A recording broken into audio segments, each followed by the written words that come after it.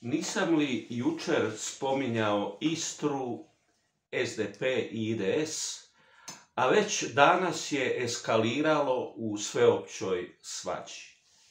Dakle, idemo u prapovijest, ja sam čovjek starac, pa volim pričati prapovijesne priče. Prije nekih 20 godina, nemam pojma, meni vrijeme leti, meni je ono što je bilo jučer jednako koji ono prije 20 godina. Dakle, prije puno godina IDS i SDP su vladali Istrom. Ali, IDS je od 92. jer od 90. do 92. je vladao SDP, od 92. IDS je jača stranka, pa je onda SDP uvijek bio malo sporedniji u toj priči. Ali nema veze. U Puli pročelnici određeni, jeli SDP-ići, su imali funkcije. Na razini županije imali su funkcije, ali je došlo do sveopće političke svađe, nakon čega je IDS odlučio šutnuti SDP, jer nije imao potrebu za SDP-om. Vidite da je IDS uspio 30 godina zadržati vlast, tri saborska zastupnika obavezno idu iz Istre, ali, ali, ali, je li SDP im je u sljedećih 20 godina postao neprijatelj.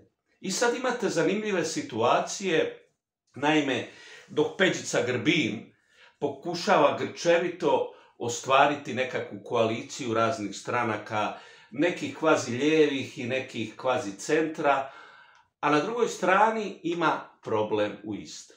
Ajmo redom, Bili Basaneže je dugogodišnji gradonačelnik e, Umaga i SDP-ac. I optužuju ga vrlo teško da podilazi nekakvom srpskom, ja mislim da, je on, da ga zovu kralj šećera, koji je napravio hotel, pa ispod njega je napravio nekakvu čitav jedan, e, jedno naselje apartmansko i da mu Vili Bašaneze, dakle SDP-ac, radi šetnicu i cijelo vrijeme podržava njegove projekte. Ali nije to toliko zanimljivo koliko je zanimljivo da Jade Zej podržava isti taj projekt. Pa onda ispada da zagrljeni SDP i ADZ su u umagu, a ovamo na državnoj razini Peđica Grbin ruši ADZ.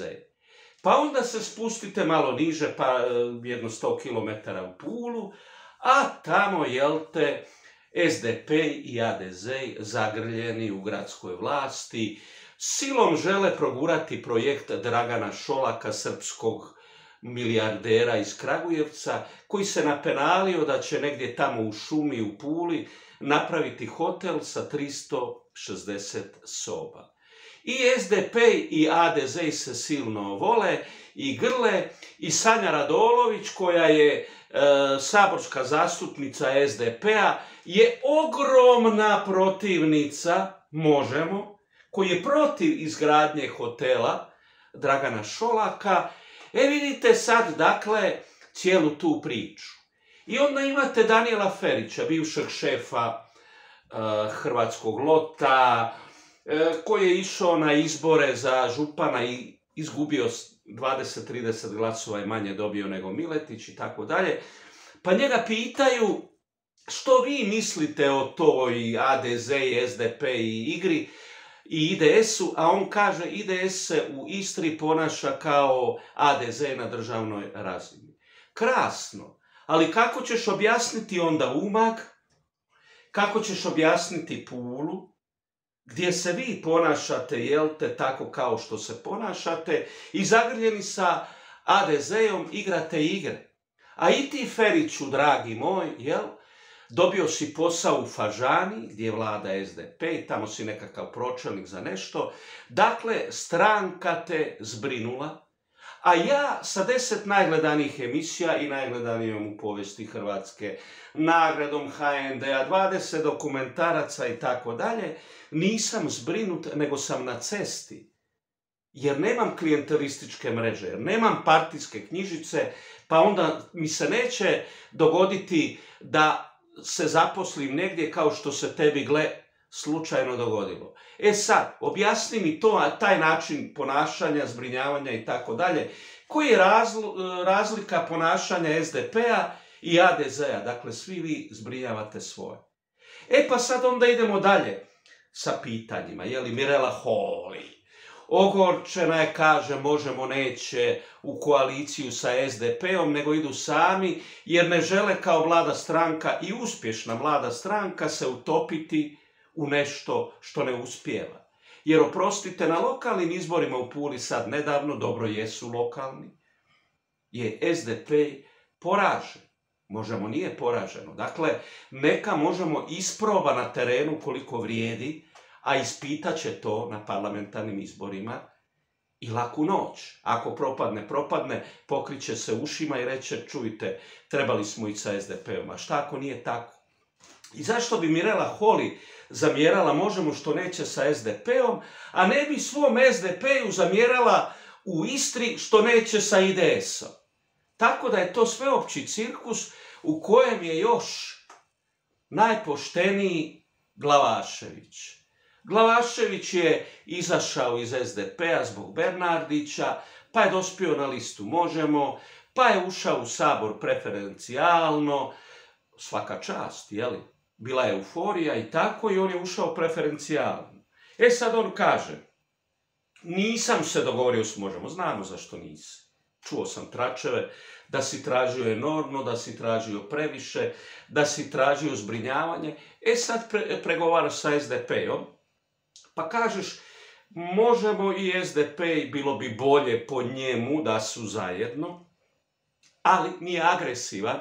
I kaže ja, kao političar, nakon 12 godina što sam u politici, sjedio u saboru i tako dalje, bio ministar, do ministar, ovaj, onaj, lijevi, desni, ja ću preferencijalno, ako se dogovorim, dogovorim sa SDP-om, ja ću preferencijalno dobiti, a ako ne vrijedim i ako 12 godina mog političkog staža nije vrijedilo, e onda nije vrijedilo, znači da politički nisam vrijedio. E to su te priče o kojima ja cijelo vrijeme govorim. Gdje ćeš ti? Koga ćeš ti? Jeli? SDP u Splitu neće sa puljkom. Oni su u sukobu, oni su ovako, oni su onako, oni lijevo, oni desno, jel? A Peđica mora dogovoriti nekakvu razinu te kvazi lijeve opcije i kvazi centra i tako dalje.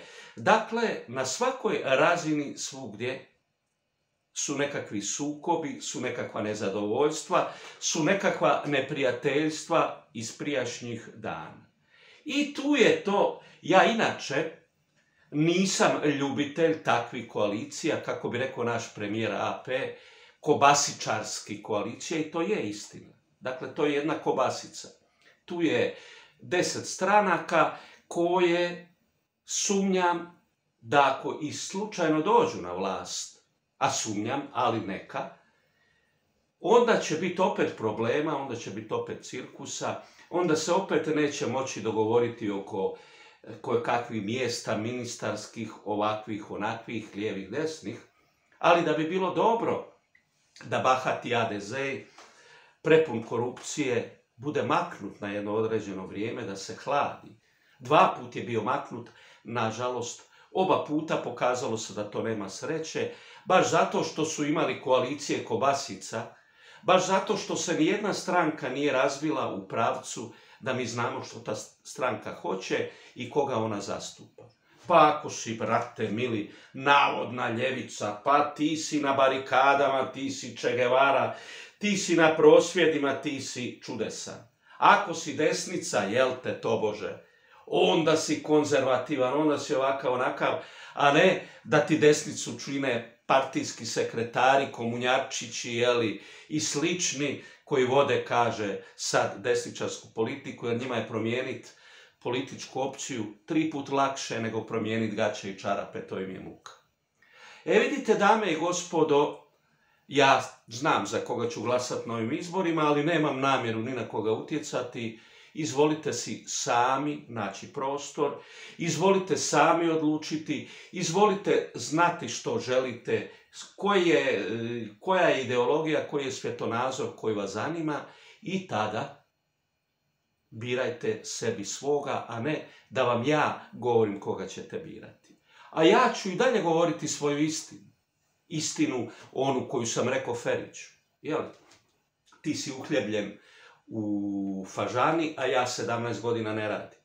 Dakle, ja u tom slučaju mogu samo reći da sam jadan, da sam gladan, da sam bio gladan, da mi pomažu prijatelji, inače ne bi preživio, ali baš zato što nisam ovisan ni o SDP-u, ni o ADZ-u, ni oko bilo kog drugog, ja mogu govoriti istima. Govorim ju na YouTube kanalu koji ima 11.650 pregleda. Govorim na Patreonu gdje objavljujem roman koji niko nije htio objaviti 15 godina jer moraju oni. Govorim na Mučačo channelu gdje mi neki klinci plaćaju emisiju. Dakle, kad govorim plaćaju, nemojte si misliti da su to milijuni dolara. Ne, oni su uložili u kamere, stative, rasvjetu i tako dalje. I ja radim intelektualnu emisiju i evo se baš ovih dana spremam snimiti, ako bude lude sreće, jednu jako slavnu hrvatsku pjevačicu pozamašnih godina, jer takvih više neće biti. Jer mi u Hrvatskoj nemamo takve, mi imamo ace prije. Mi imamo Tonča Uljća ispitava ponadjelce koji već 30 ili 40 godina sklada cajke. Mi imamo promašenu državu gdje smo otirali 450 tisuća ljudi i to je upitno, vjerojatno je više takvih, jel? Mi imamo naprosto jednu žalosnu hrvatsku opljačkanu, prevaransku, septičku jamu zla.